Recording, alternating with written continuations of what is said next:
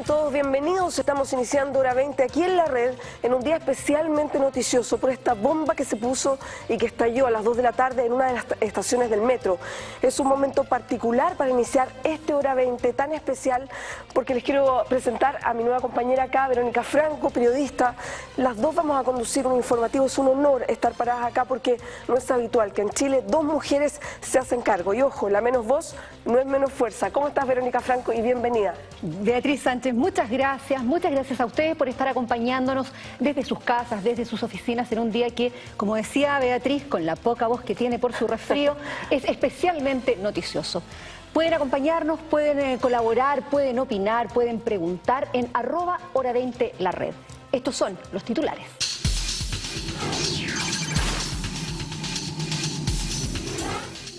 Bombazo en el metro Escuela Militar, 10 son los heridos y gobierno invocará la ley antiterrorista. Saga autorizó plantación de cannabis para uso medicinal en la comuna de La Florida. Dichos del comandante en jefe del ejército, no existe un pacto de silencio en lo que respecta a las violaciones a los derechos humanos. Provocó ola de repercusiones.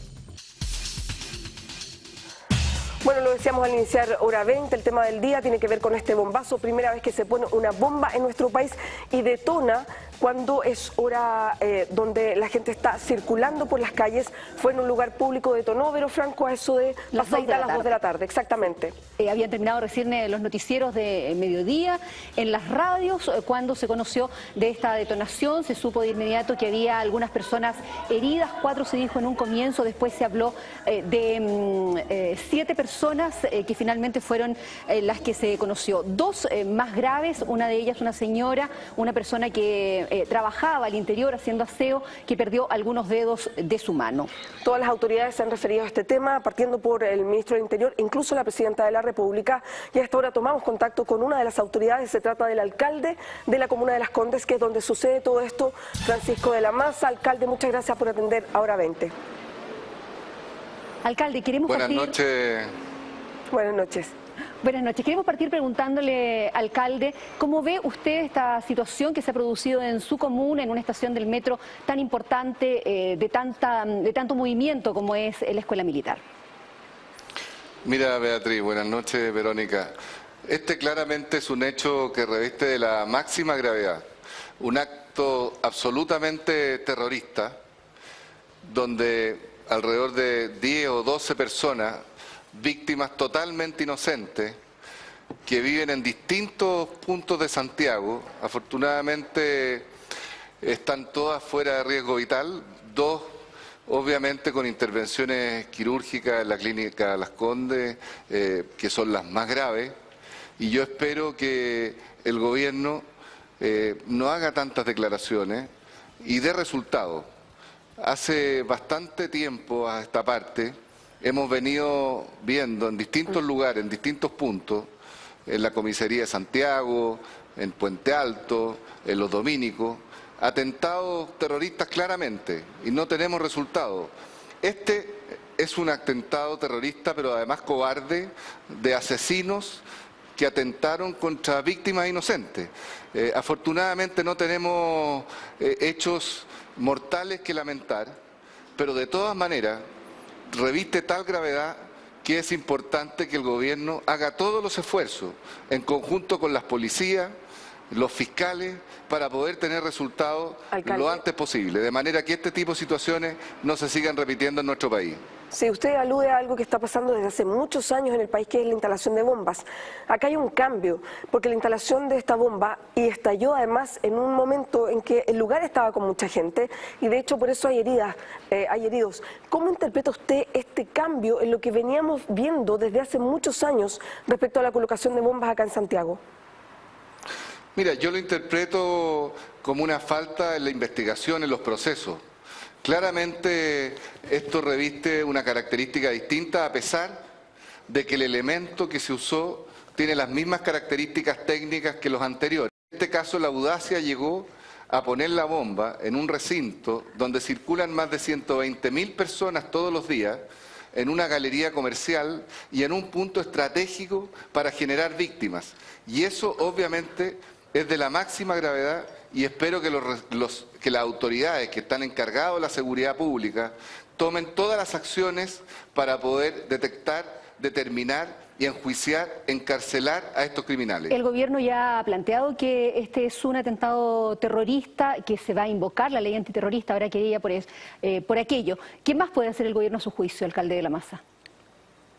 Bueno, yo creo que el gobierno tiene todas las herramientas a través de la Fiscalía y a través, por supuesto, de los procesos de investigación que hacen las policías respectivas. Y es ahí donde obviamente se pueden ver resultados. Pero parece que no hay resultados de ese trabajo, alcalde, ni en este gobierno ni en el anterior. Eh, recordemos toda la investigación que hubo por el caso Bombas, que terminó en sí, nada. Verónica, en este proceso, en este proceso donde hemos visto en el último tiempo que se ha tentado peligrosamente en espacios donde circula mucha gente, específicamente con el atentado en Puente Alto, en los dominicos, sin consecuencias afortunadamente, pero hoy día estamos viendo que estos criminales asesinos efectivamente ya tienen una impunidad total para actuar descaradamente y afectar a chilenos. También hay ciudadanos de otros países. Hay responsabilidad, perdón, en los tribunales. inocente. Hay responsabilidad en los tribunales, alcalde de la masa, que no han eh, em, otorgado condenas realmente duras, por ejemplo, en el caso Pitronelo. Yo, yo creo que efectivamente hay parte de responsabilidad, pero principalmente en los procesos de investigación. Cuando hay actos criminales o atentados terroristas, quienes deben buscar a estas personas y determinar quiénes son, son los procesos investigativos y quienes tienen a cargo a estas policías es el gobierno de turno. Por lo tanto, obviamente que hay una responsabilidad. Alcalde, los eh, atentados con bomba, primero de otra naturaleza, porque eh, entendemos que este fue totalmente distinto, se vienen repitiendo principalmente en Santiago desde el año 2004. Han pasado varios gobiernos, hay una oficina de inteligencia, hay policías que tienen departamento de inteligencia, la PDI y también carabineros. Hay hoy día un ministerio público que es el que ordena. ¿Dónde está la falla entonces? Bueno, yo creo que hay que entregar más recursos al área investigativa sin duda, de manera de poder tener resultados concretos.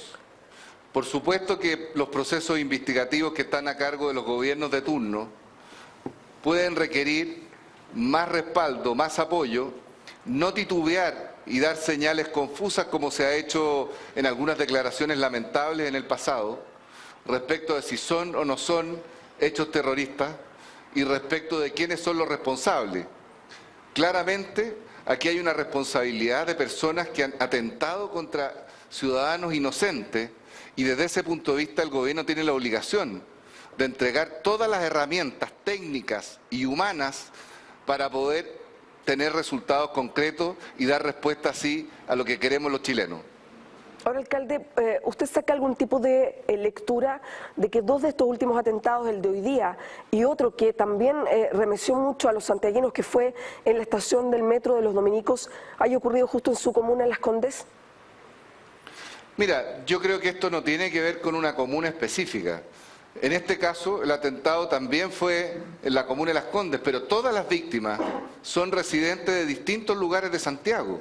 Y aquí estamos en presencia de asesinos que lo que buscan de alguna manera es crear terror, pero ya no solo crear terror, sino que tener víctimas.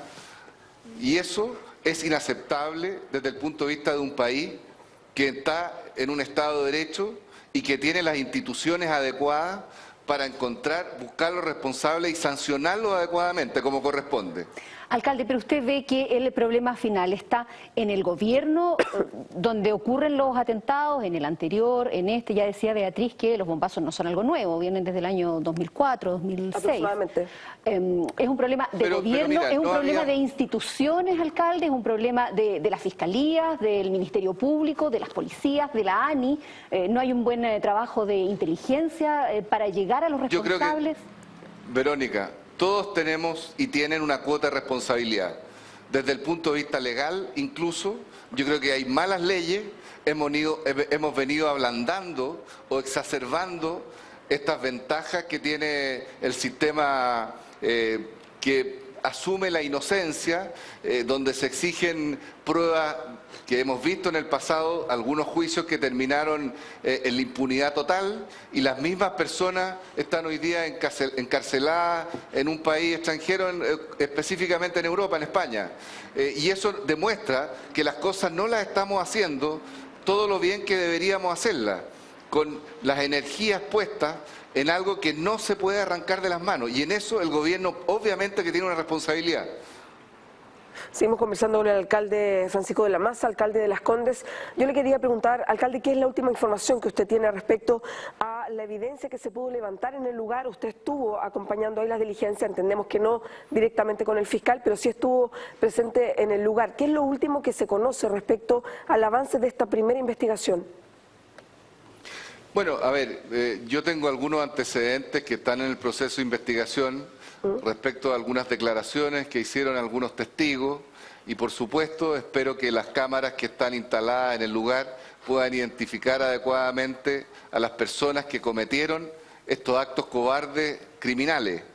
Pero más allá de eso, aquí hay un tema también de capital humano, de procedimiento, de elementos técnicos que permitan de alguna manera, junto con algunos cambios legales que son importantes, a las policías actuar en forma más enérgica, de manera de poder tener resultados concretos de las acciones que hemos estado viendo en el último tiempo y específicamente de esta, que como tú dices, tiene características diferentes, porque finalmente ocurrió lo que muchos predecíamos, que iba a llegar un día en que este tipo de atentado iba a afectar a personas inocentes. Esperemos que sea la primera y la última vez, y esa es una responsabilidad que tiene 100% el gobierno. Y tiene responsabilidad también el fiscal especial que está eh, dedicado especialmente al tema de las bombas, ¿o no, alcalde? Por supuesto que la apunta al gobierno, pero también tiene su cuota de responsabilidad, pero también el gobierno tiene la capacidad de entregarle todos los herramientas técnicos y capital humano a los procesos de investigación, colaborar con eso y tomarse que esta es una acción de la máxima gravedad y por lo tanto tomársela con toda la seriedad. Bien, alcalde, muchas gracias por atender ahora 20. Gracias a usted. Buenas noches. Buenas noches, alcalde.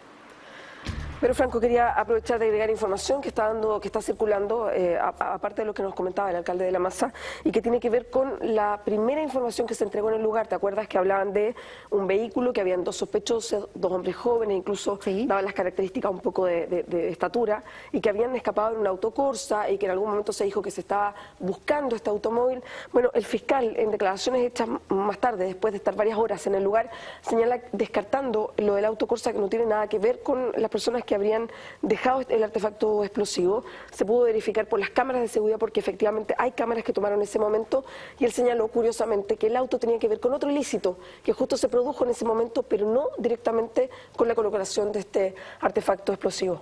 A mí me llamó la atención que el alcalde insistiera tanto en el tema de eh, los recursos con los que cuentan eh, las instituciones que apoyan al gobierno, a la justicia en, esta, en estas situaciones, eh, pero que no apunte a inteligencia policial y a la ANI directamente, que aparentemente es lo que está fallando. Tenemos bombazos desde hace siete años, ocho años, mm. nueve años y no se ha llegado a mm, condenar efectivamente a nadie. Lo de Pitronelo en realidad fue mínimo y a él lo sorprendieron. Bueno, sabemos que resultó herido, perdió parte de sus manos, perdió la visión porque le explotó una bomba y sin embargo no se pudo llegar a nada. Sí, quedó con prisión en su casa durante tres años. Vamos a ir, Verónica Franco, ahora a tomar contacto con Tamara Quintana, es periodista de Hora 20. Se encuentra en el Palacio de la Moneda porque se llamó a una reunión especial con la gente del Ministerio del Interior y también con las policías. Tamara, cuéntanos.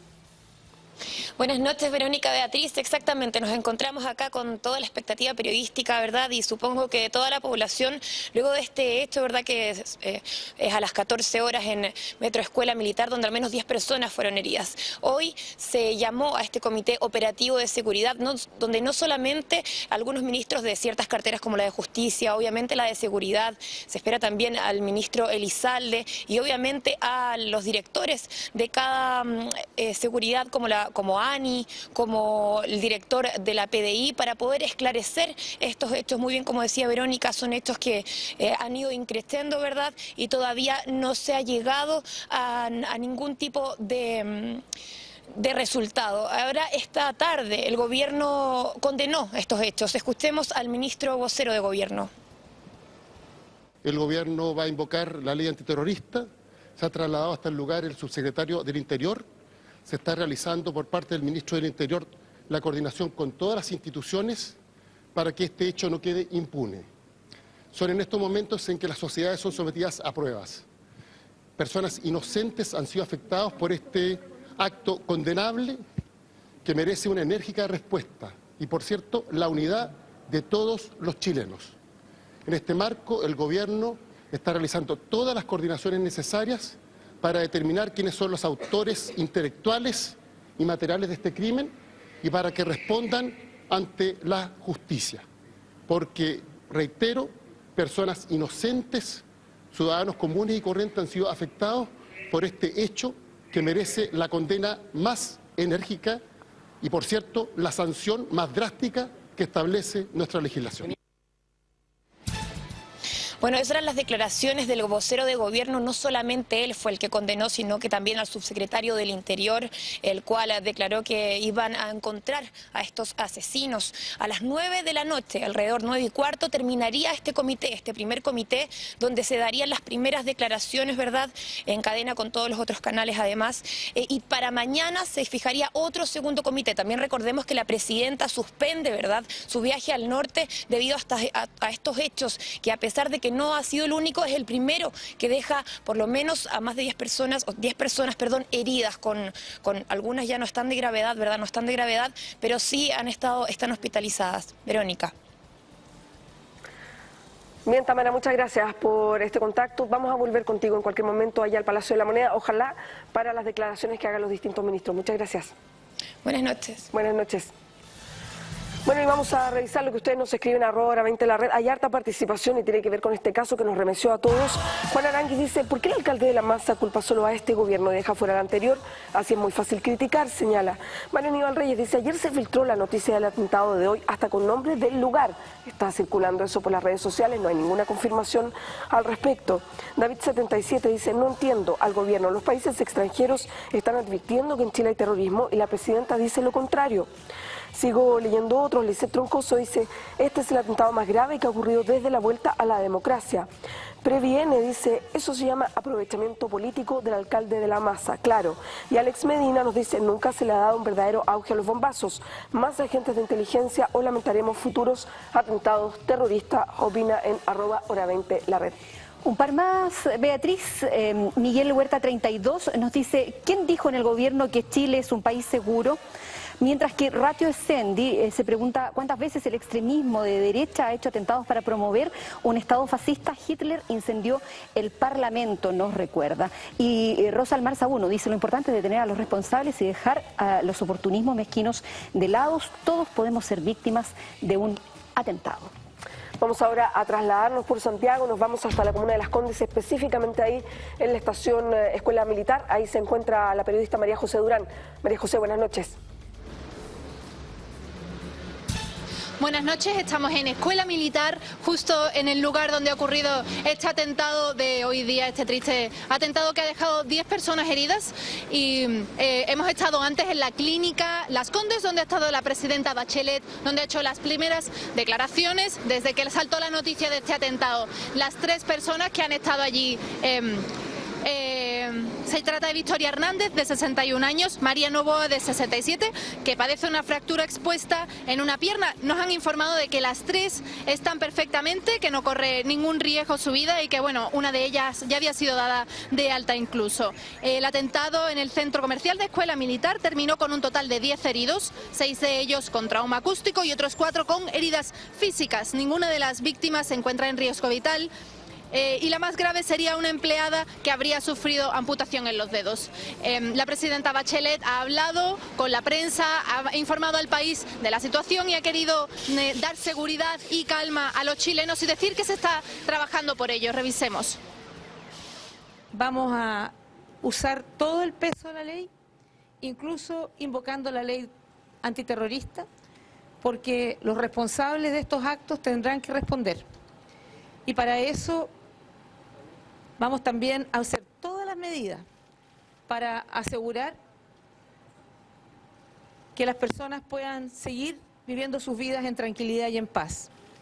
Quiero decir que vamos a tomar todas las medidas. Mañana a las ocho y media de la mañana tengo una reunión. He convocado al Comité Operativo de Seguridad, donde están representados todas las fuerzas, de seguridad, también algunos otros poderes del Estado vinculados a esta temática para revisar toda la información pertinente y tomar todas las medidas que correspondan. Finalmente decir que llamar a la calma.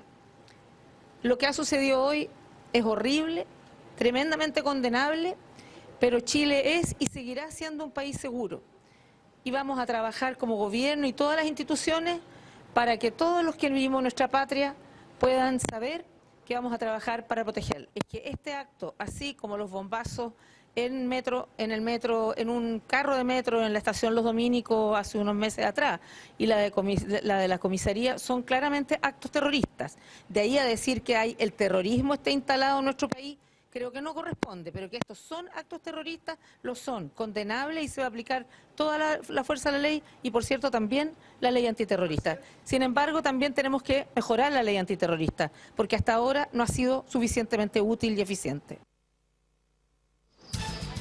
Mirad compañeros, ahora mismo reclamo vuestra atención porque estamos viendo en directo, en riguroso directo, cómo eh, el personal especializado de carabineros que está encargado de esta investigación está sacando material, material del eh, subcentro Las Condes de este sitio de escuela militar donde ha sucedido el atentado. Vemos que van cargados con varias bolsas, con cajas, que hay cuatro de ellos, van vestidos con todas las protecciones para que no contaminen ninguna de las pruebas y luego van otros cinco carabineros más que, que también vienen portando muchas pruebas pruebas que seguramente serán vitales en esta investigación. También os puedo contar que yo que llevo aquí todo el día he visto cómo sacaban el basurero donde estaba la bomba dentro, el basurero que se veía todo explotado por dentro y que una pareja de carabineros ha portado hasta uno de los furgones. También he sido testigo de cómo otra pareja de carabineros en la puerta del hospital ha sacado una bolsa llena de efectos personales de las víctimas que allí estaban hospitalizadas e incluso he podido ver las bolsas de papel de color marrón,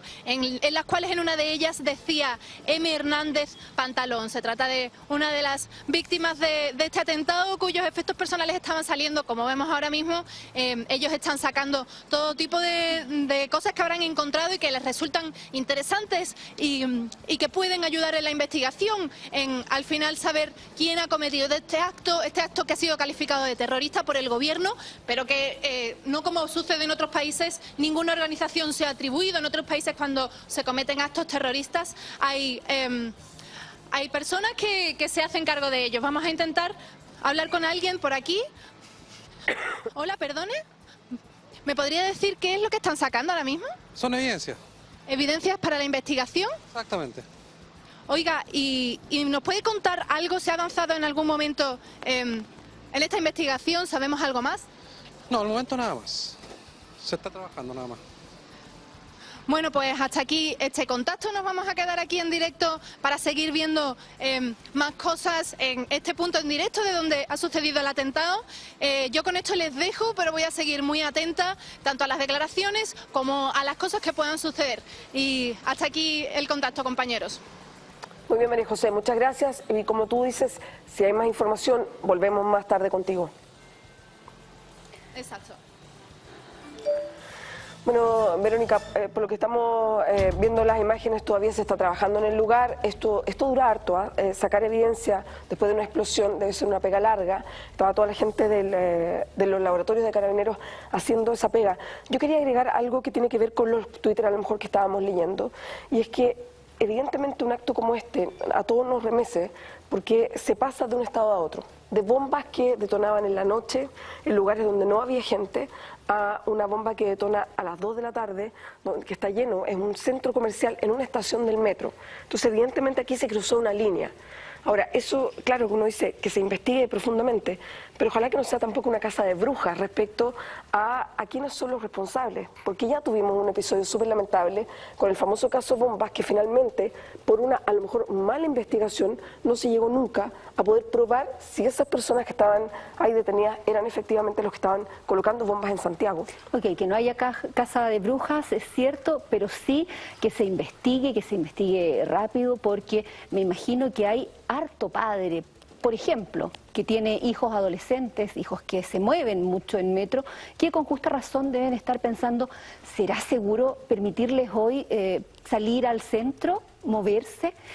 ¿Tendrán que llevar su mochila como hacen siempre? ¿Mejor que la dejen en la casa? Preguntas de padres. Ojalá la investigación efectivamente no sea una casa de brujas, Beatriz Sánchez, pero que sea rápida, que sea efectiva, que se llegue a algo y pronto. Y al menos siete lesionados, eh, tres de ellos de extrema gravedad, dejó una explosión ocurrida en las inmediaciones del local de comida rápida Juan Maestro, ubicado en el subcentro, ubicado en la estación Escuela Militar del Metro, cerca de las 14 horas. Personal del GOPE, PDI y la BOSCAR llegaron hasta el lugar y al menos cuatro compañías de bomberos trabajaron en el perímetro afectado. El gobierno confirmó que se trata de un artefacto explosivo y se invocará la ley antiterrorismo. Vamos a hacer un comité policial de emergencia el día de la tarde en la moneda para poder efectivamente detener a gente que produce este tipo de actos terroristas en el país. Subsecretario, ¿estarían identificados ya dos personas jóvenes arrobadas de un vehículo? No tenemos identificadas las personas, pero sabemos que son dos personas jóvenes efectivamente. ¿A bordo de un vehículo chero? Así es. A bordo de un vehículo, a, bordo de un vehículo ese vehículo está identificado. Perdón, ese vehículo está identificado, subsecretario. Subsecretario, le preguntaba si ese vehículo está identificado. No, tenemos identificado, tenemos las características generales de él.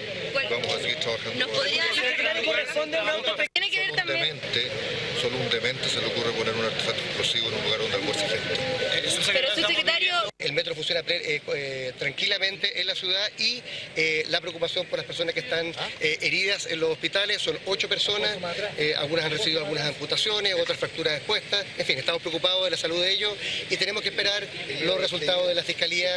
Cualquier otra cosa, reitero, salvo el hecho que son todas las personas que están involucradas, aparentemente todo lo demás es especulación. Lo que ya salió por la prensa en relación a un artefacto explosivo en uno de estos tanques de, un extintor, que estaba dentro de un basurero, esa es la información que tenemos hoy día. La potencia, el tipo de pólvora, eh, en fin, los daños que causó internamente no se los podría confirmar ahora, precisamente porque no tenemos información de ningún panfleto en el lugar. Inaceptable que un grupo de personas puedan cometer este acto eh, tan brutal y quisiera dar la seguridad de que haremos todo lo necesario para, bueno, como lo ha dicho el subsecretario del Interior, el ministro del Interior, buscar a los culpables de este acto terrorista, pero además garantizar toda la seguridad en el sistema de transporte. Se han dispuesto algunos cursos de acción tendientes a, ubicar a las personas que podrían ser responsables. Eh, hay varios eh, operativos en este momento que se están desarrollando para ubicar a las personas. Hay antecedentes de algunas características de, algunos sujetos sospechosos y en este momento se están realizando todos los cursos de acción para tratar de determinar la participación de estas, de estas personas. Estamos pendientes en esta jornada del eh, atentado terrorista que se ha producido en eh, la estación Escuela Militar del Metro de Santiago. Queremos que ustedes también participen con nosotros, que eh, nos cuenten, nos entreguen sus opiniones en arroba hora 20 la red. ¿Qué dicen algunos de ustedes? Jared Gark, por ejemplo, dice, ¿qué pasa con los heridos? ¿Existe algún seguro antiterrorista en Chile? Mientras Bárbara Trapsti plantea que mientras la justicia chilena no actúe como se debe, estas cosas seguirán ocurriendo porque hay mano blanca de parte de la ley. Em, eh, hay también eh, otras opiniones. Eh, Isa Tormi eh, dice que hace rato que el gobierno debiera haber invocado ley antiterrorista, pero como en campaña dijeron lo contrario, ahora se pisan la cola. mientras que Patito el Guaso dice lo malo de todo esto es la imagen internacional del país.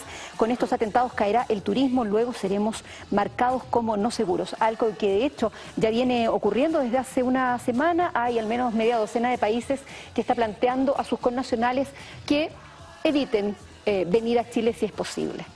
Arroba 20 de la vez, seguimos revisando otro. Juan Muñoz dice, espero que el Comité de Seguridad de la Presidenta no sea igual de inepto que el equipo del ONEMI para el terremoto del 2010. Leo otros. Water Joe dice, ¿por qué Casa de Brujas? Los jueces garantistas son los que deben responder. Fin, puerta giratoria.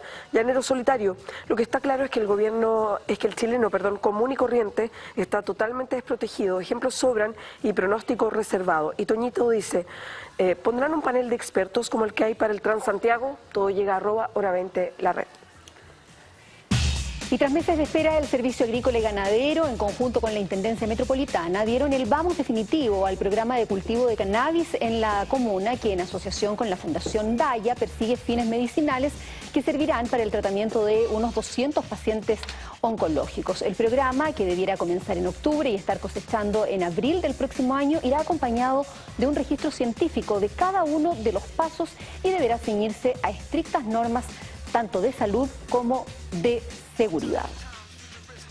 Como gobierno, a través del SAC metropolitano, estamos autorizando eh, este proyecto eh, vinculado a paliar el dolor a las personas que hoy día sufren cáncer usando un aceite producto de la cannabis. Aquí estamos ante una solicitud que, cuyo fin es la producción de aceite para fines terapéuticos en pacientes oncológicos. Y ese es el objetivo y la autorización está limitada a ello. Los cuidados y eh, protecciones establecidos para el, sitio donde va a estar esta producción, eh, el compromiso de que va a estar eh, este, un sistema de vigilancia permanente en ese lugar, eh, todo eso hace que en definitiva se cumplan los requisitos de seguridad eh, establecidos eh, y hace que finalmente lleguemos a entregar esta aprobación a la solicitud presentada por Fundación Daya en conjunto con la Municipalidad de La Florida. Es muy importante reiterar lo que hemos dicho en todos los tonos. Estamos partiendo con el tratamiento medicinal. Tenemos que ser muy serios en esto, por cuánto ha costado tanto cualquier error nos podría eh, representar un revés y volver atrás. Por tanto, creemos que en abril, mayo, deberíamos empezar a cosechar y deberíamos ahí empezar a producir los primeros aceites para que junto al Ministerio de Salud podamos empezar a demostrar que la cannabis sativa en aceite puede ser gratuito, de calidad, para cientos de pacientes en la Florida y ojalá en un futuro bastante próximo en todo Chile. Y de este tema vamos a conversar en eh, hora 20 en la red eh, con la presidenta de la Fundación Daya, Ana María Gasmuri, que está acompañándonos esta tarde. ¿Cómo estás, Ana María? Muy bien, muy bien, gracias. Bueno, primero que nada, lamentar, ¿cierto?, los tristes sucesos de esta tarde, eh, terrible, inaceptable, no podía dejar pasar hacer el comentario y también tratar de no sacar dividendos pequeños de esto y entender que tenemos un tema como país que enfrentar la violencia no se combate con más violencia ni más agresividad, solo hacer ese punto. Y felicitarlas a ustedes por este primer noticiario conducido exclusivamente por mujeres, me alegra muchísimo y toda la suerte del mundo. Y la primera invitada en el estudio también es mujer, Ana María, gracias por haber venido. Ana María, ¿esperaban ustedes una resolución positiva de parte del SAC para esta plantación de marihuana con fines medicinales o lo sorprendió? No, no nos sorprendió, la verdad es que sí lo esperábamos. Nosotros tuvimos durante todo el proceso una estrecha comunicación con las autoridades que estaban involucradas en esta aprobación, particularmente con el director metropolitano del SAG, Oscar Concha. Entonces, la verdad es que esto nos hacía sentir que la cosa iba bien encaminada, que las consultas eh, interministeriales que se estaban haciendo iban bien encaminadas también. Las conversaciones con el intendente Orrego también nos daban eh, esa, tranquilidad en el sentido de que él estaba tomando con mucha seriedad eh, el imbuirse en los detalles del proyecto. Entonces, la verdad es que las señales que siempre recibimos fueron positivas y eso nos hacía estar bastante optimistas pensando que efectivamente, tal como ocurrió, íbamos a obtener la autorización para este cultivo, este, este cultivo que es pionero no solo en Chile, sino también en Latinoamérica. Es primera vez que se autoriza un cultivo de cannabis medicinal en toda la región. Sí, Ana María, me imagino que esa responsabilidad se siente. ¿Cómo, a mí me gustaría saber en lo práctico, ¿cómo se va a llevar adelante este cultivo? ¿De qué manera se tiene que eh, resguardar? Eh, qué tipo de semilla van a ocupar, todo eso ya lo tienen eh, más o menos eh, trabajado, incluso discutido con el SAC. Sí, ¿sabe lo que pasa? Que todos esos detalles son parte constitutiva de la solicitud de cultivo. Entonces todos esos temas tenían que estar presentados en este proyecto que en el fondo uno le entrega al SAC pidiendo la solicitud. Las medidas de seguridad, el doble cerco perimetral, las cámaras de seguridad, el tipo de vigilancia, también el banco holandés con el que estamos trabajando, las semillas medicinales que vamos a traer. Todos esos detalles son parte integrante de la solicitud, por lo tanto, desde el 23 de mayo, que fue la, la fecha de ingreso de la solicitud, esto estuvo a disposición de quienes tenían que estudiar en detalle todo lo que ahí se presentaba. ¿Y cuándo van a partir entonces con eh, el primer cultivo? En un mes más, exactamente en un mes más parte eh, el primer cultivo. En este momento se está empezando el trabajo, se dio el vamos, digamos hoy día, entonces empieza el trabajo de lo que es eh, construir este cerco perimetral, acondicionar todo el espacio y en un mes más, digamos, empieza lo que es el cultivo mismo con dos cultivadores expertos que son de la fundación, digamos, y que tienen realmente una expertise en este tema. Hemos trabajar con los mejores, no queremos arriesgarnos en esta primera experiencia chilena, así que ahí se comienza este proceso y este cultivo culmina, digamos, con la cosecha en abril. Y en abril entramos a trabajar ya en la fase de la extracción de este fitofármaco. Ana María, ah, perdona, Vero, dale.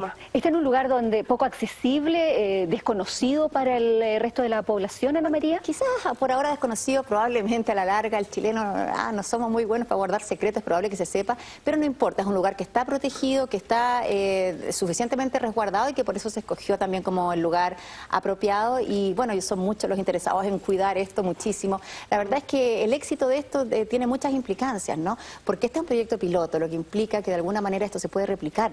Ah, nosotros soñamos finalmente con un gran cultivo nacional que pueda ir en ayuda de todos los chilenos que lo necesiten, que estén cursando enfermedades complejas, que necesiten aliviar su dolor. Eh, y ese, es nuestro sueño, eh, democratizar este acceso al cannabis medicinal de alguna manera y acortar esta brecha de inequidad que tenemos en el acceso a la salud. Creemos en el derecho a la salud de todas las personas y también eso implica el acceso a terapias complementarias de bajo costo como esta que estamos impulsando. Ana María, ¿cómo sigue el proceso después de la primera cosecha? ¿De qué manera se realiza el aceite? Porque de esa manera se va a entregar a los pacientes y ahí usted misma me lo aclara. ¿Y cuándo va a empezar efectivamente a entregarse a los pacientes? Sí, bueno, desde el momento en que se realice la cosecha, tenemos aproximadamente un mes, un mes y medio en todo el procedimiento, ¿cierto?, que tiene que ver con la extracción de este fitofármaco.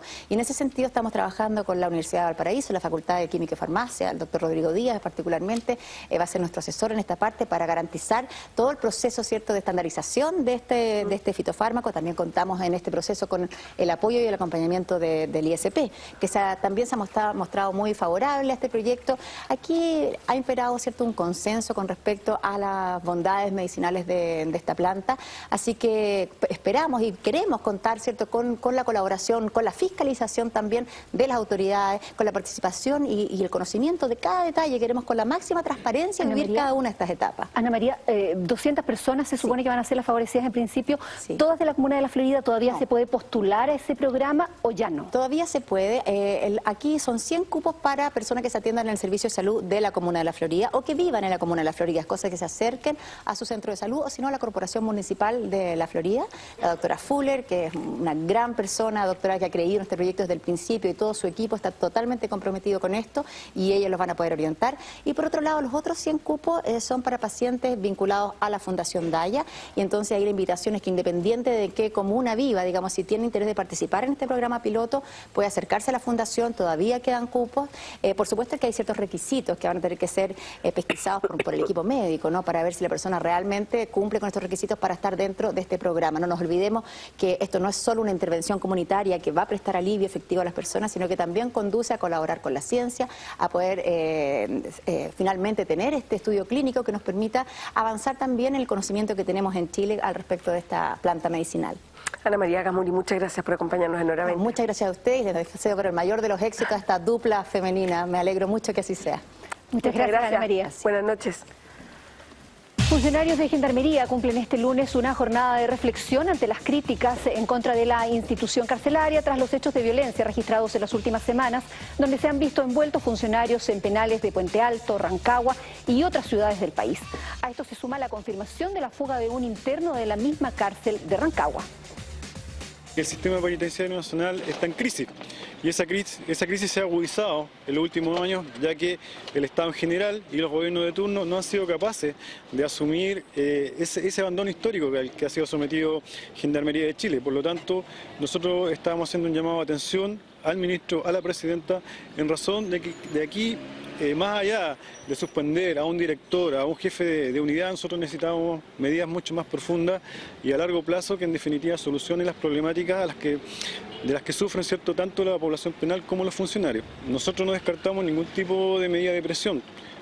Obviamente anteponemos el diálogo ante todo, pero creemos que el sistema eh, no da para más, está enfermo y necesita una cura urgente. La preocupación eh, central del gobierno ha sido lograr mejorar las condiciones de gendarmería. Estamos trabajando en los ascensos, estamos trabajando en eh, un eh, sistema de, pago por asignación de riesgo, estamos también trabajando en mejorar la infraestructura, en darle mejores condiciones de seguridad.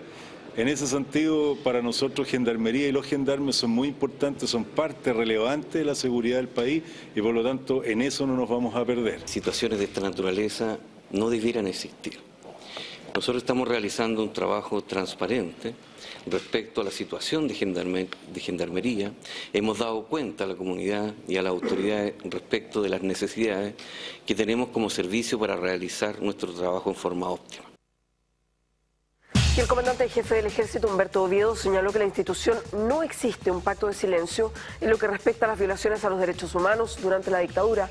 Asimismo, el general dijo que tampoco se han resguardado archivos secretos que oculten información valiosa que pudiese aportar en casos investigados por la justicia. En miras a una nueva conmemoración del 11 de septiembre, desde la moneda se refirieron a este tema. Sin duda que el ejército ha cambiado desde hace unos años a esta parte y que el actual ejército y sus comandantes en jefe y su rama eh, no están eh, probablemente dentro de un pacto de silencio. Pero no hay ninguna duda que quienes fueron criminales y que han sido condenados y aquellos que no lo han sido y que están en libertad sí tienen un pacto de silencio. Si no tendríamos claridad dónde están eh, los detenidos desaparecidos todos los antecedentes que no se han podido determinar los conocen aquellos criminales que participaron en violación de derechos humanos, desaparecimiento, tortura.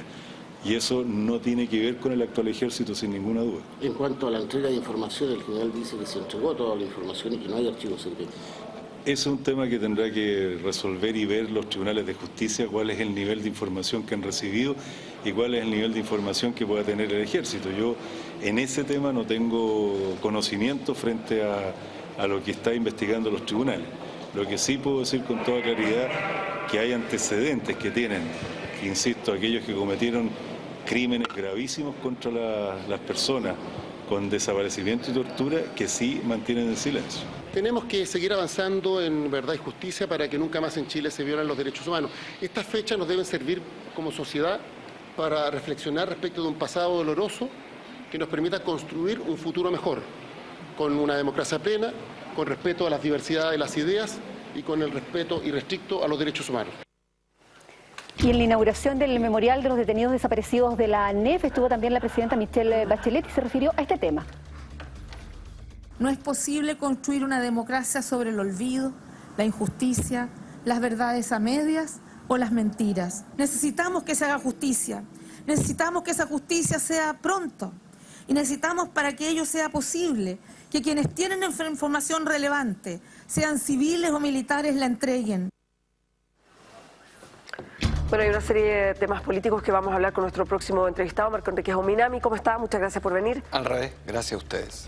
Pero evidentemente vamos a partir por lo que es la noticia del día y que seguramente va a ser una de las noticias del año que es el bombazo hoy día en una hora en que no estábamos acostumbrados, eh, a las dos, un poquito antes, un poquito después de las 2 de la tarde, con mucha gente alrededor, hay 10 personas heridas y esto ha remecido una sociedad que ya miraba con preocupación bombas que se instalan desde el año 2004 aproximadamente, pero que habitualmente estaban instaladas en un lugar que flotaban en la noche, en algún lugar donde no había personas y hoy día cambia esto. ¿Cuál es la lectura que tiene usted, Marco Enrique?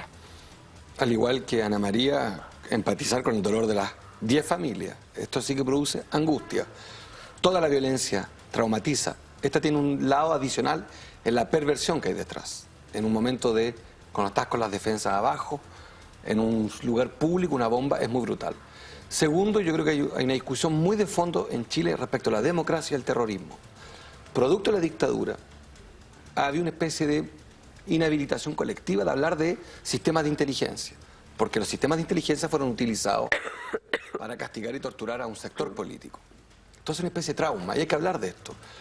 Yo creo que hay una discusión inmediata sobre la capacidad de nuestros servicios de inteligencia dentro del Estado de Derecho de reunir información en democracia sobre grupos articulados que se preparan para esto. Tercero, y aquí termino, yo creo que hay un problema con el pacto social. En Bogotá, en México, en San Paulo, los ricos andan y los políticos con autos blindados, porque se rompió un cierto pacto social, producto del narco, la desigualdad, la pobreza. Chile todavía, los más ricos pueden mandar a sus hijos sin guardaespaldas al colegio. Ese pacto requiere reformar, tenemos que rehacer el pacto social. Y esta evidencia de violencia irracional, déjeme extremarla. Cuando la Plaza Italia Chile gana, también rompen los centros comerciales. Y cuando Chile pierde, también rompen los centros comerciales. Alberto Mayor, un sociólogo, decía, es como una guagua que llora siempre, con éxito o sin éxito. Hay una violencia incubándose en Chile que tenemos que abordar cambiando una parte de Chile. Lo conecto con lo que está pasando con las reformas. ¿Es terrorismo no cambiar, esto, Marco, eso. Marco Enrique Jominami, es terrorismo lo que ocurrió en esta jornada? ¿Es aplicable la ley antiterrorista a la que usted se ha opuesto en algún momento? de- declaró que es ilegítima la ley antiterrorista. No tengo todos los elementos, pero esto claramente parece terrorismo. Esto sí, fíjese la diferencia con el gobierno anterior que le de- declaraba terrorismo todo. ¿Se acuerda que era como todo es terrorismo? Mira la diferencia. Hoy estamos todos escandalizados. El mundo, las portadas del mundo hablan de Chile. No hablaba en el caso Pitronelo de terrorismo el mundo. Miraba diciendo un joven irracional pone una bomba a las 3 de la mañana frente a un Red Bank y se rompe él mismo la mano. El terrorismo es algo más grave que eso. Yo sí creo que hoy día estamos frente a un dato nuevo, una noticia. Y ustedes, los periodistas, tienen razón de detenerse. Y tenemos que la clase política escandalizarnos. Esto es un caso muy grave. muy grave. ¿Invocación de ley antiterrorista o sigue siendo ilegítima en este caso? Cuidado, que lo que siempre he denunciado Verónica y hay que ser preciso en esto es la aplicación arbitraria de la ley antiterrorista. Hablaba en particular de la situación de los mapuches. Exactamente. Claro, cuando se aplica la araucanía, se invoca sistemáticamente, como si fuera la solución al problema ma- mapuche. Y no se invoca cuando aquí, incluso Piñera tuvo que retroceder, cuando un grupo de estudiantes encapuchados encierran un bus de carabineros y le tiran una molotov adentro.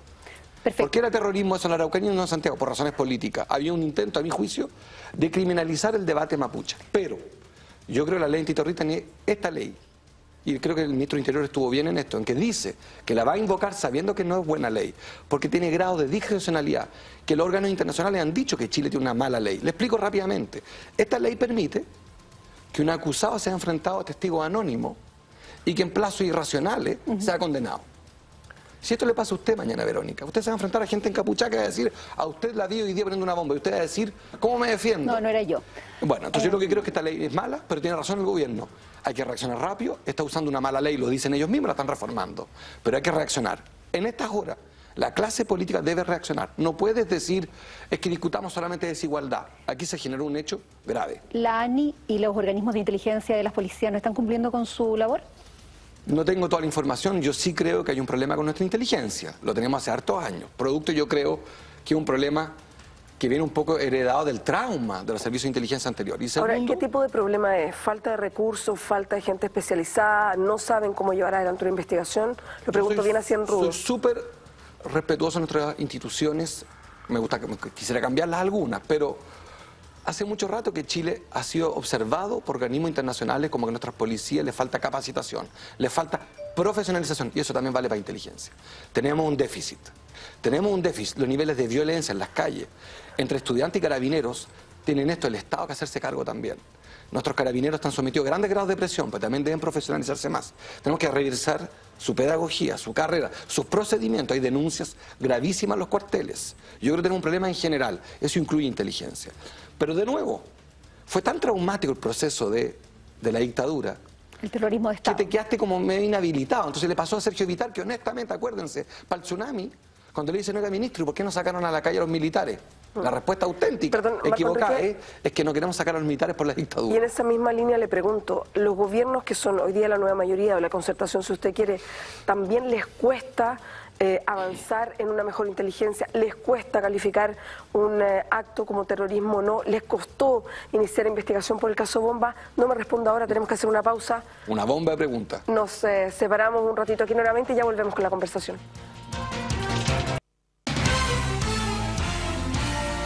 Seguimos la conversación aquí nuevamente con Marco Enriquez Ominami a propósito de la bomba que estalló pasadita a las 2 de la tarde en la estación eh, de la Escuela Militar. Marco, yo le había preguntado si no analiza que hay de parte de los gobiernos de la nueva mayoría o de parte o, de la concertación antes a un, terreno complejo para ellos en, en aplicar eh, ley antiterrorista, en decir esto es terrorismo, que hay una especie de complejo por toda la historia que usted menciona que tiene el concepto encima? Voy a hablar a título personal y del progresismo como partido. Nosotros no tenemos ningún problema y no nos perdemos en esto. En mi caso, la condición de mi existencia es el golpe, pero nos vio traumatizado en eso. Yo tengo una, sí una, una dificultad. Para combatir el terrorismo muchas veces se recurre al terrorismo. El último presidente que se hizo el divertido con el terrorismo, que se permitió decir que todo era terrorismo, se llama George Bush. Es demasiado grave usar la palabra terrorista, porque obliga a un comportamiento del Estado mucho mayor. Entonces, ¿por qué somos cuidadosos los progresistas? Porque tipificar de terrorismo algo obliga un conjunto de consecuencias. Perdón, ¿es ser cuidadoso o es no es tener un trauma? Es no, ser cuidadoso. En el caso nuestro es ser riguroso. El día que Chile se identifica como un país con terrorismo, ¿usted sabe lo que va a pasar con el turismo? ¿Sabe lo que va a pasar con las divisas? ¿Sabe lo que va a pasar con las inversiones? Y en eso la derecha es profundamente irresponsable y confunde a la gente en Twitter, en Facebook, lo confunden, dicen todo es terrorismo. Si usted le regala la palabra terrorismo a un idiota, eh, idiota significa en griego fuera de lo público, a un idiota que se trata de hacerse el divertido y pone un artefacto y se afecta a él mismo, tenga cuidado, porque ¿qué pasaría entonces, Verónica? Si todo lo que nos dijo Piñera era terrorismo, ¿cómo sería la noticia de hoy? Habríamos dicho un hecho más. ¿Por qué están impactadas? Porque hay algo nuevo. Porque pasó algo nuevo y hay que tipificar las cosas con su justa medida. Segundo, también tenemos un problema en el sistema judicial. Digámoslo con todas sus letras. Los fiscales tienen en promedio 2.300 causas. El Usted no alcanza a hacer en principio. Usted como que periodista no, no hacen de esa complejidad. Son 2.300 entrevistas al año por un fiscal. Mínimo de honestidad acá. Entonces nos ha pasado en el caso Bomba, que si no me equivoco, espero no equivocarme, perdón, que algunos de los que aquí salieron inocentados fueron recuperados en España como culpables, metidos en un problema de terrorismo. Dos casos. Dos casos. La justicia española hizo que la justicia chilena no podía. Nuestros fiscales son serios, pero están desbordados. Entonces, de nuevo, más Estado, mire, llegamos a la discusión de izquierda y derecha. Sí, en la justicia se requieren más recursos, no solamente eficiencia. Ningún fiscal puede ser eficiente con 2.300 casos. Tengamos cuidado al hablar de terrorismo, dice usted. ¿Chile es un país seguro en este momento, Marco Enrique Ominami, como ha planteado el gobierno en esta jornada? Voy a ocupar un gerundio. Significa estamos estando en un proyecto complejo. Por eso creo que las reformas son muy importantes. Discutir el pacto social. Y aquí hay dos fuerzas que nos quieren decir que no pasa nada. Las grandes empresas, las 1.200 empresas más grandes de Chile, y un sector de la política que dice, no, no cambiamos nada. Yo no quiero conectar de manera arbitraria esto con la, con la reforma. Pero hay que cambiar. Hay que cambiar los niveles de injusticia. Chile no es un país justo. Eso se lo puedo decir. Es un país injusto. Es más, creo que es el país más clasista que yo haya conocido. Créame que por el cine, por la empresa, por la pega he viajado mucho. No conozco un país más clasista que este, en que el apellido, el color de piel, el origen hace la diferencia. Y ese clasismo de repente explota. Yo quiero decir Perdón, que, pero usted está uniendo... no, le dije no lo quería unir. Digo que cuidado. Digo al mismo tiempo que los países donde hay terrorismo, fíjese cuáles son. Donde se rompió el pacto humano, de convivencia humana. Donde hay narco, en los países más desiguales. ¿Usted cree que el narco penetra con esa violencia en Estados Unidos? ¿Cómo penetra el narco en México, en Colombia, en Perú, en los países más complejos, más frágiles en su democracia? Con más desconfianza el narco entra con una facilidad increíble. Corrompen a carabineros con una facilidad increíble en otros países. Aquí no. Aquí todavía hay casos gravísimos. Todavía yo le respondo de esta manera. El país es muy injusto y se va a volver un país muy inseguro. No digo que el hecho de hoy tenga su origen en todo esto, pero no lo pueden tampoco, se lo digo de otra manera, tampoco lo desconecte. Porque hoy día esto, y viene el 11 de septiembre, y viene y vino lo que vivimos en las marchas también. El ojo nuestro se cansó. Nos acostumbramos a la violencia entre carabineros y estudiantes como si fuera normal. Amigos míos extranjeros te dicen. El otro día vi un funcionario de Naciones Unidas, un italiano, que vino a mi Marco. oficina y me dijo: Oye, qué violenta es la policía chilena. Y le decía: ¿Tú encontráis? Nosotros, un policía a caballo pegando a los estudiantes, es una imagen extrema en Italia. Aquí es. Vamos, como si fuera normal. Marco Enrique Ominami, inevitable pensar que está hablando como candidato. Eh, está negociando ya con eh, la concertación para primarias, presidenciales eh, y parlamentarias, con la nueva mayoría, quise decir, claro. Vine a hablar de lo que me inspira, del Chile que sueño el Chile que quiero cambiar. No lo quiero cambiar todo. Pero estoy casado con una periodista y soy hijo periodista y aprendí algo.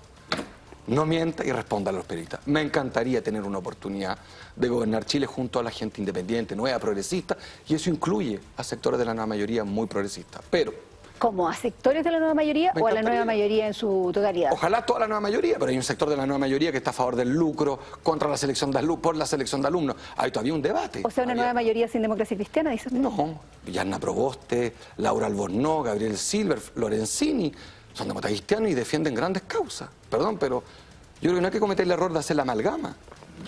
Frei Montalva le gustaba la Asamblea Constituyente.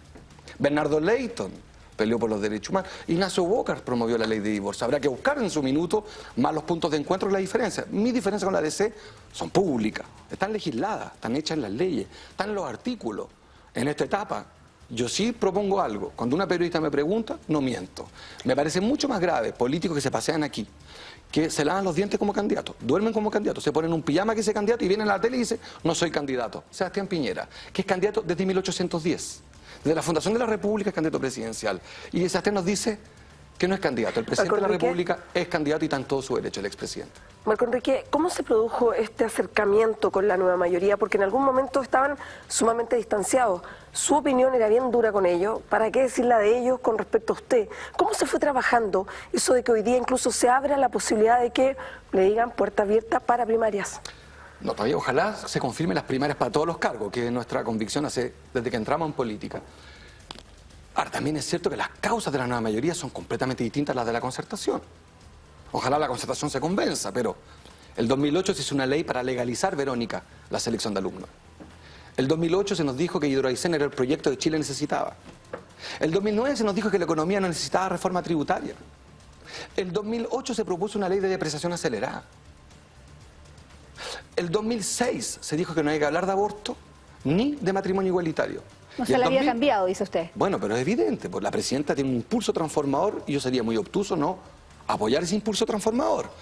No estamos pidiendo entrar a nueva mayoría, no somos nueva mayoría, pero actuamos de buena fe los progresistas. El PRO actúa de buena fe, marcha a cara descubierta, pacíficamente para cambiar las cosas. Pide asamblea constituyente.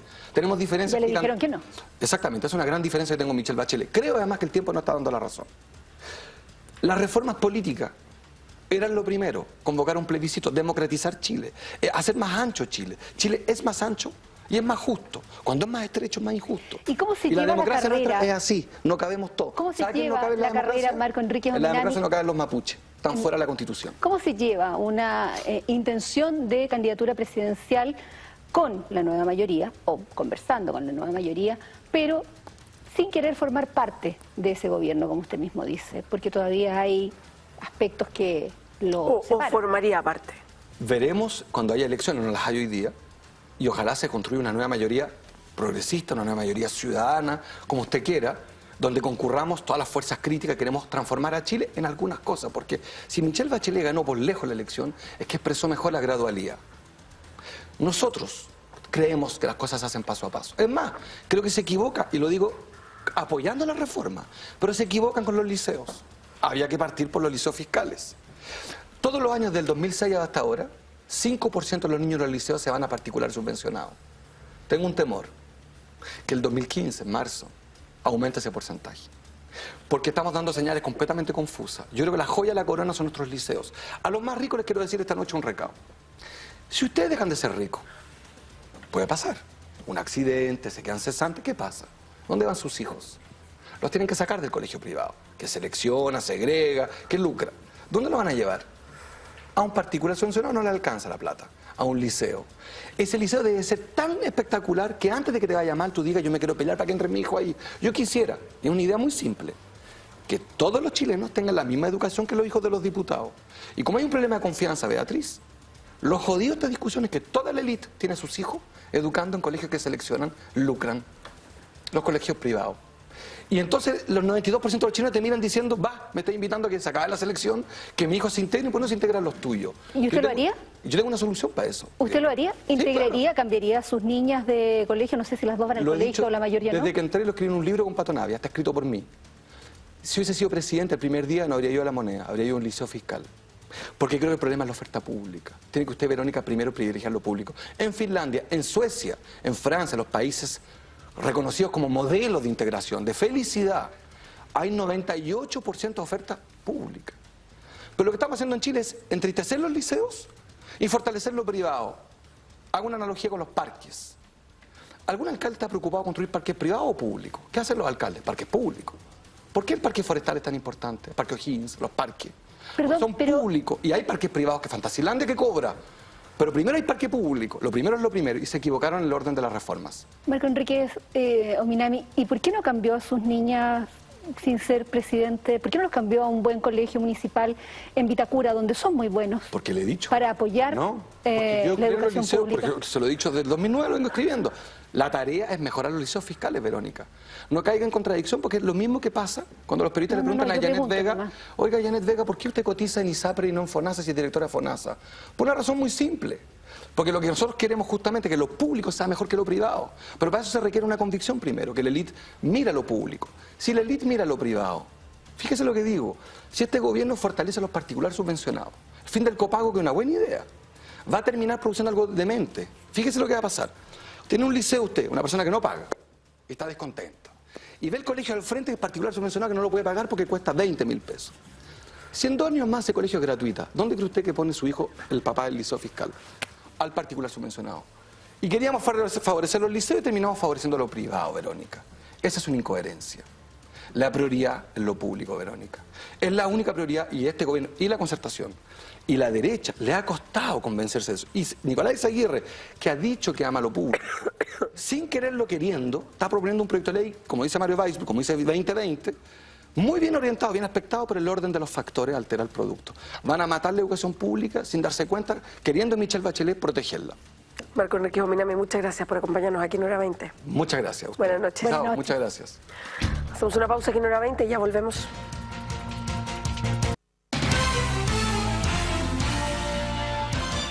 Estamos atentos a lo que ustedes nos quieren contar, preguntar, compartir en arroba hora 20 en la red. Harta opinión sobre la conversación que tuvimos con Marco Enríquez Ominami hace unos instantes. Eh, yo, guion bajo, soy 7, dice Meo, usted está aprovechando el minuto de televisión para candidatearse, creo cero sensibilidad, no me gusta. A JK Ponce 1479 tampoco le gusta. Por Dios que vendedor de pomadas, conozco a Meo y es eh, más clasista, no le gustan los pobres. Mientras que 21 Davico lo defiende. Ahora Marco por Chile en hora 20 la red, pedimos primarias para todos los cargos, defendemos los liceos y la educación pública notable. Em, hay, eh, también nos eh, avisan que clausuran basureros del metro tras atentado terrorista, nos cuenta Bárbara Trapsti a través eh, de mm, arroba hora 20 la red y también hay harto mensaje para ti Beatriz Sánchez, cuídate la garganta, dicen muchos a través de Parece Twitter. que algo se nota, Vero Franco. Arroba hora 20 la red, voy a leer otros más. Francisco Pulgar dice, falta de capacitación a los policías, por ahí va el tema, y reducir sus cargas de trabajo, están colapsados. Oscar David dice, hablando del tema de en el metro es necesario profesionalizar a las policías. Notable, dice. Sigo leyendo otros que llegan hasta el Twitter del programa. Rodrigo Yáñez dice, el error es creer que el derecho a manifestarse implica y aguanta todo, incluso agredir y destrozar, y eso ya se desató en Chile. Dante Brusco dice, primera vez que le encuentro la razón a Meo. Dice, tenemos un problema con nuestra inteligencia y suma como más un millón porque pone muchos ceros. Y Sebas Mugen dice, y si ponen una bomba en un cajero a las 2 de la mañana y pasan a sacar plata, no es terrorismo, ¿cierto? Y claro, tiene hartos tuiteos que habla de que terrorismo siempre que instalan una bomba, todo llega a arroba hora 20 la red. Este martes el gobierno debe presentar sus indicaciones a la reforma educacional. Debía hacerlo en rigor. Fueron eh, presentadas ya en la última jornada. Tras el comité político, los diferentes presidentes de partido y parlamentarios valoraron eh, los alcances en la materia. En este sentido, el ministro Álvaro Lizalde descartó que las indicaciones que el Ejecutivo ya ingresó eh, constituyan un nuevo proyecto y aseguró que los cambios realizados no alteran los principios iniciales de la iniciativa. Todo esto luego de que el presidente de la democracia cristiana, Ignacio Walker, asegurara que se puede hablar de un nuevo proyecto. Por lo tanto, sin comprometer ninguno de los tres objetivos del proyecto, se han flexibilizado los mecanismos y se han acogido la mayoría de las sugerencias que hemos hecho como democracia cristiana. ¿Se mejora así el proyecto entonces el original? Ciertamente me- se mejora. Es casi un proyecto nuevo, insisto. Las indicaciones son 31 páginas. el proyecto inicial son 25. ¿eh? Y por lo tanto esto también hay que reconocerlo. Eh, refuerza la idea que el Ministerio de Educación se ha abierto a una discusión y que el debate en la Comisión de Educación de la Cámara de Diputados ha sido muy fructífero. Y en ningún caso esto es un nuevo proyecto, nada, para nada. Yo creo que es parte del debate en particular de lo que viene. Algunas cosas se podrán aceptar tal cual, otras se podrán modificar, pero en ningún caso esto es un nuevo proyecto. Aquí las bases esenciales eh, del proyecto, que es terminar con la discriminación y tener un sistema menos segregado y de calidad, se cumplen a cabalidad con estas incluso con otras posibles que puedan surgir en el marco de la discusión y que por cierto vamos a presentar también.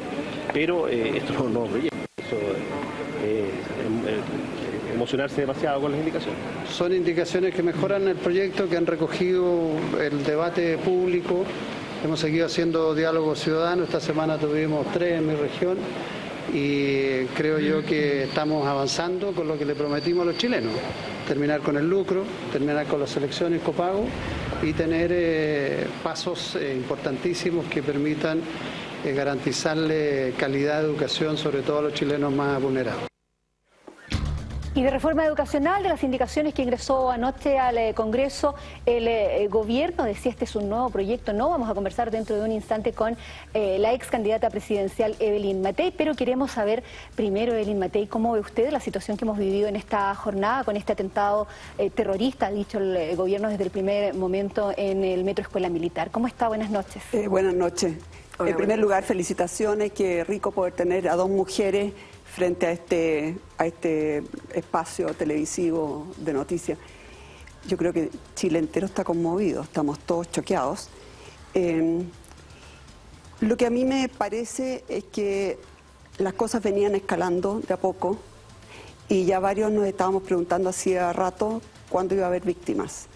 Eh, cuando hubo el atentado en eh, la estación del metro Los Dominicos, ya podrían haber habido víctimas y por lo tanto era un tema de tiempo. Y finalmente sucedió y es un momento en que yo creo que hay que hacer un esfuerzo enorme por no tratar de sacar ningún tipo de ventaja política, sino que poder permitir que Chile entero enfrente esta situación con el mayor rigor, porque con el terrorismo, así como con el narcotráfico, eh, no se puede jugar. ¿Y se está sacando hoy día algún tipo de ventaja política? No lo sé, no, he escuchado suficientes eh, eh, reacciones, eh, pero, pero realmente creo que hay que ponerse la camiseta muy fuertemente por nuestro país, por, por la paz en nuestro país. y sí quiero señalar que cuando esto empezó, se puso muy en ridículo investigaciones que se hicieron en ese momento y se soltó a gente que después eh, fue hacer lo mismo en España. Eh, y ese tipo de actitud, ¿no es cierto?, de blandura, de no se puede volver a repetir y por eso que ah, en este momento hay que mirar hacia adelante. ¿Hay responsabilidad de los jueces, dice usted, de los fiscales que De los jueces y de la concertación. ¿O, en su hay minuto, responsabilidad de la inteligencia? En su minuto, en su minuto fue de los jueces y de la concertación. Yo recuerdo perfectamente bien cómo la concertación hizo todo un show señalando que esto había sido un montaje del gobierno y también del fiscal Peña, eh, y que estaban acusando a estos pobres inocentes, eran seis personas, los dejaron a todos libres. El gobierno les pagó una cuantiosa, el Estado les pagó una cuantiosa indemnización y después los pillaron en España. Pero la concertación no fue la que investigó, ni fue la no, que... No, no, no, fue la que armó el show en el, en el Congreso. O sea, yo recuerdo perfectamente bien haber escuchado a muchos parlamentarios que incluso armaron una comisión investigadora. Eh, para decir, para, para investigar el montaje que se había hecho respecto a estos pobres inocentes. ¿Cree que sería distinta la situación hoy, perdón Beatriz, si hubiesen sido condenados eh, esas personas en el caso Bombas? Sí, yo creo que no hubiera... Eh, yo creo que la gente va buscando la mano, va viendo cuánto aguantan. Eh, y en ese minuto no haber reaccionado a tiempo yo creo que nos va a costar más porque cuando el terrorismo ya empieza a agarrar fuerza y empiezan a tener más confianza y empiezan a tener más redes, naturalmente que es más difícil enfrentarlo. O sea, hubiera sido mejor en ese momento, pero a esta altura yo creo que tenemos que mirar hacia adelante porque eso es lo que la gente demanda. Pero no puedo dejar de mencionar que debió haberse parado antes y pudo haberse parado antes. Ahora, el, el caso Bomba es un caso bien particular, porque efectivamente de los 14 que primero fueron detenidos, después se fue acotando el número, hay dos hoy día que fueron dejados en libertad acá, eh, que en España están presos. Pero el tema tiene que ver con algo político o tiene más bien que ver con que se hizo mal la pega de investigación en la Fiscalía, que nunca pudo demostrar si es que todas esas personas efectivamente están involucradas en las bombas, que efectivamente estaban ahí. Yo no sé si fue la Fiscalía o si son los jueces. Recordemos que hay jueces que son muy de izquierda. Es que usted hace una lectura política, por eso le pregunto. Sí, yo hago una lectura política, claramente. Eh, me acuerdo perfectamente bien cuando un juez dijo vamos a desplumar al pato. El pato era el fiscal y le destruían una tras otra todas las pruebas que iban a presentar. Eh, lo mismo pasó con el caso del Cabo Moyano.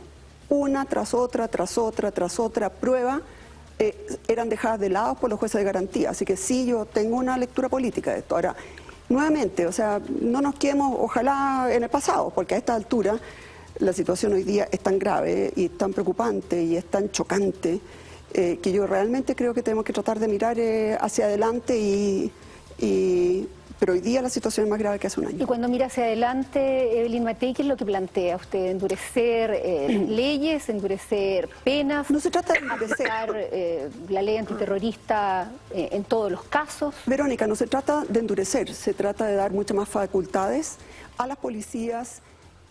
por ejemplo, la figura, ¿no es cierto?, de la gente encubierto no existe en Chile, no se permite.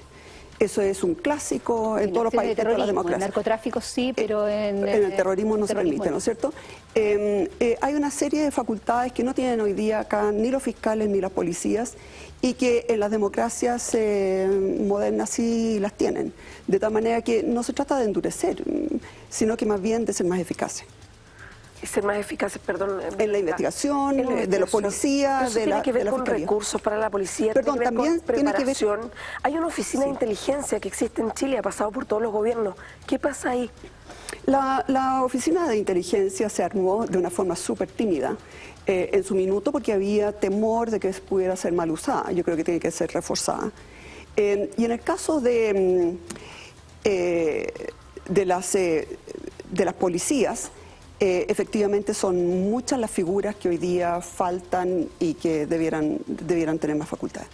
Pero el gobierno anterior fue más duro de lo que ha sido este gobierno frente a bombazos, que hasta ahora eran solo bombazos y tampoco hubo mucho, mucho de efectivo en, la persecución, en Matei. Yo discrepo ahí. Yo creo que efectivamente fue bastante efectivo y fue, em, fue desarmado por jueces eh, muy ideológicos. Eh, y también em, quiero decir que la ley tal cual está, que hemos tratado de cambiar, em, eh, tiene una doble dificultad, porque no solamente tienes que probar que la persona estaba involucrada en el acto terrorista, sino que también tienes que probar que tenía intención de hacer daño o de provocar terror en la población, lo cual es muy difícil de probar. O sea, la ley está mal redactada y cuando se quiso cambiar la ley, en general eh, no hubo mucha colaboración. Estábamos conversando hace un minuto con Marco Enrique Minami, ya precandidato presidencial. Él dijo que tenía interés por lo menos en serlo. Estamos conversando con otra candidata presidencial o precandidata, Evelyn Mateo, ¿no? Eh, yo la vez pasada no busqué la candidatura, no la estoy buscando ahora tampoco. Eh, ustedes saben que yo me las he jugado muy fuertemente por generaciones más jóvenes. Creo que hay que cambiar eh, rostros en la política eh, así que veremos qué es lo que va pasando. Creo que todavía es demasiado temprano. ¿Y cómo ve que en su partido, en la UDI, ya haya precandidatos? Iván Moreira es uno de los nombres. ¿Le, parece a usted apropiado no todavía? Bueno, cada uno, sabe, cada uno sabe lo que, lo que, le, lo que, lo que hace.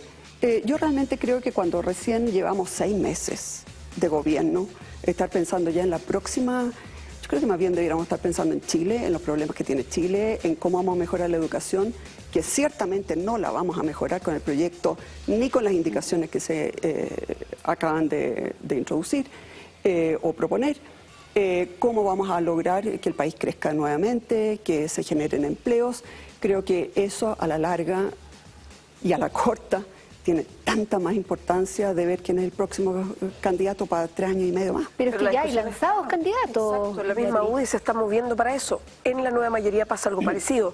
Está la figura también del expresidente Sebastián Piñera. ¿Usted apoyaría a Sebastián Piñera en una nueva candidatura? ¿Usted fue ministra de él? Así lo apoyaría con todo.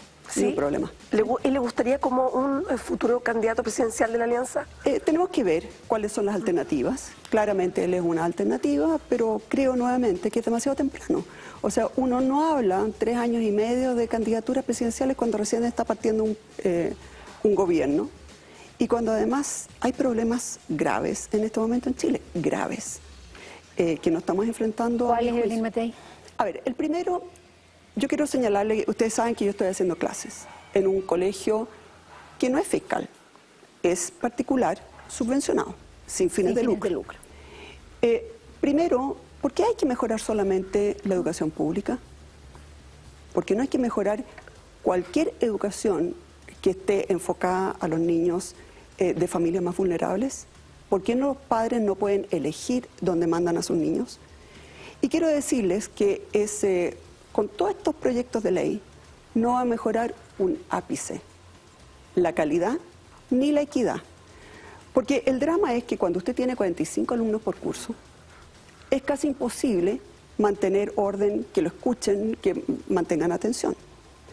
Cuando usted tiene profesores que están miserablemente mal pagados, que se tienen que llevar el trabajo los sábados y domingos a su casa y que se pasan el sábado y el domingo corrigiendo, que no tienen tiempo para preparar las pruebas ni para preparar sus clases, en que además la tercera parte de las personas que hoy día están estudiando pedagogía ni siquiera dieron la PSU. Cuando además vemos que aquellos que sí se atreven, porque la mayoría de los egresados de pedagogía no se atreve a dar la prueba de inicio, entre aquellos que sí se atreven, el 70% fracasan Pero no hay una confusión ahí porque se presentaron mientras- ahora proyectos, pero faltan otros, lo ha dicho el Ministerio de Educación. Perdón, pero lo- es que sin, sin el otro no hay nada. O sea, todo esto es música. Que el fin del lucro, que el fin de la... Perdón, música. Mientras no se enfrente, y esto además no lo estoy diciendo ¿Pero yo, lo dicen no todos. considera necesario que se termine con el lucro, con No, el para nada. público, el copago de la familia y la selección? No. ¿Eso es parte para usted de una buena educación? En, en Alemania, en Francia, en Inglaterra, hay selección. Hay selección. Obviamente no a partir del pre-kinder ni del kinder, pero a los 14 años sí hay selección. Y en la mayoría de los países hay selección. Y de, de hecho, de todo modo va a haber selección una vez que entren a la universidad. No todos entran a la universidad. Entonces, yo no veo cuál es el drama de colegios, por ejemplo, como el Instituto Nacional, como el Liceo 1, como el Liceo 7. Ojalá tengamos muchos más de esos. Pero a mí me parece que eso han sido un tremendo aporte, no un lastre para Chile.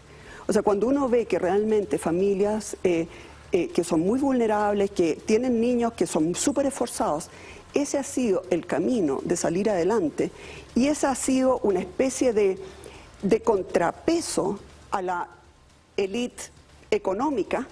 Esta ha sido una élite eh, laica, ha sido una élite eh, de esfuerzo de clase media. Yo creo que es maravilloso que existan y, por qué debieran eligió- existir más. ¿Y por qué eligió usted entonces para hacer clases un eh, colegio subvencionado sin fines de lucro y no uno con fines de lucro? Porque yo prefiero uno sin fines de lucro.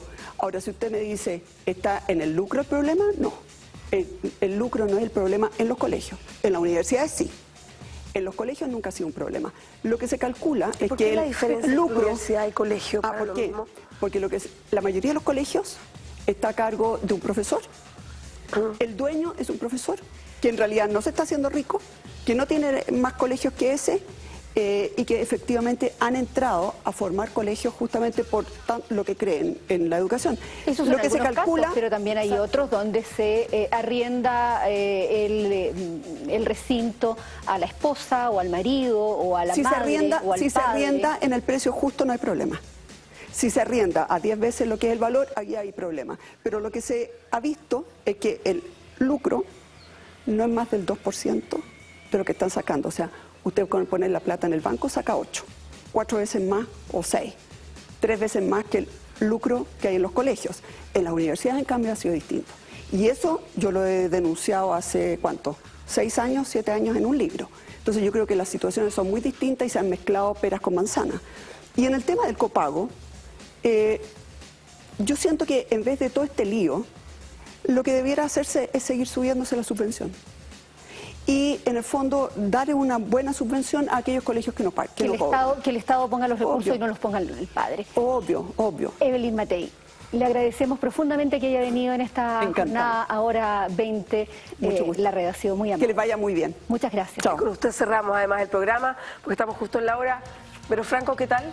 Muy bien, muy entretenido, muy rápido. He estado muy contenta en este primer hora 20. Muchas gracias Beatriz Sánchez por la recepción. Gracias a todos ustedes, muchas gracias por acompañarnos y queda la invitación todos los días aquí en hora 20. Ya viene Vigilantes. Chao, chao. Hasta mañana.